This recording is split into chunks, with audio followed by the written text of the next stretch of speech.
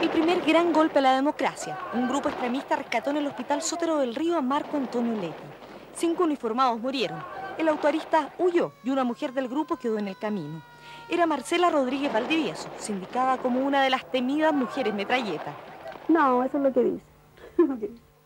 ¿Y ese día, en el rescate de Marco Antonio, estabas cumpliendo esa función al menos?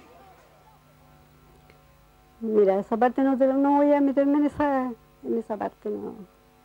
Como sea, participó en el rescate. Fue condenada por la muerte de un carabinero, conductas terroristas y evasión de reo. Cadena perpetua. Dicen que maté a un carabinero. Pero eso no lo han comprobado y, y no es así. La condena fue conmutada a 25 años, pero hace 7 Marcela Rodríguez tiene libertad bajo fianza. Carga una pena mayor. Está parapléjica. No puedes eh, bañarte sola, ir al baño sola. Cosas que uno ha hecho toda la vida y de repente tiene que estar dependiendo. Es terrible. Su lucha por ahora es la rehabilitación. Por eso la invitación de un grupo de chilenos residentes en Noruega es su carta vital. La cuarta sala de la Fiscalía Militar ya levantó un arraigo.